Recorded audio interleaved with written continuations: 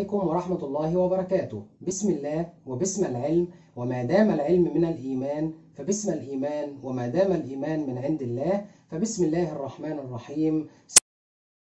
سوف نتناول اليوم فاتحة الكتاب. أعوذ بالله من الشيطان الرجيم. بسم الله الرحمن الرحيم. الحمد لله رب العالمين. الرحمن الرحيم.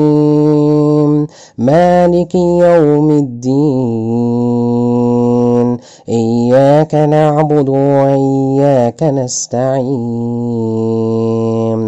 اهدنا الصراط المستقيم. صراط الذين أنعمت عليهم غير المغضوب عليهم ولا الضالين.